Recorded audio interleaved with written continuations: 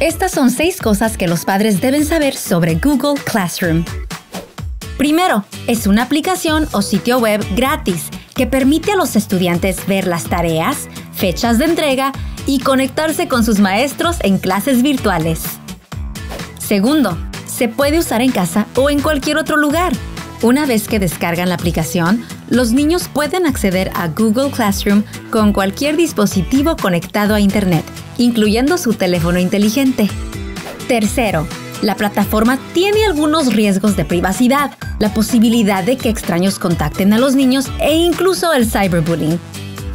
Cuarto, no hay mucho que se pueda hacer para evitar que los niños abran otras tabs o pestañas para hacer trampa o chatear. Pero si están presentando un examen en Google Forms, los maestros sí pueden desactivar el acceso a otros sitios web.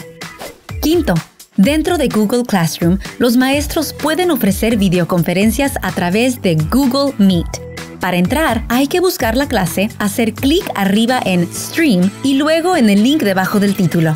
Si están dentro de Classwork o están usando una tablet o celular, hagan clic en el icono de la cámara. Una vez que estén en la página de la llamada, deben hacer clic en Join o Unirse. Y por último, sí hay ajustes que pueden aumentar la seguridad. Si tu hijo usa una cuenta personal de Gmail, puedes modificar sus ajustes de privacidad en la página de su cuenta de Google.